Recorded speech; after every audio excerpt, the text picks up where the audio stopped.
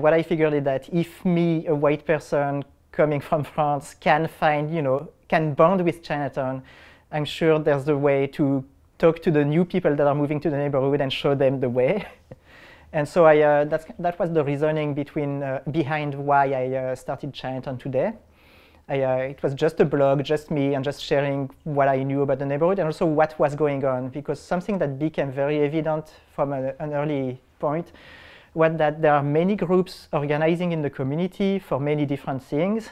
You know, there's groups playing mahjong, there's groups uh, helping seniors, there's, there's groups helping low-income people, there's groups organizing community kitchens, and um, Mm, these groups, maybe the organizers know each other, but they don't communicate in the same place. They all, you know, they all have their own followers and their own social media.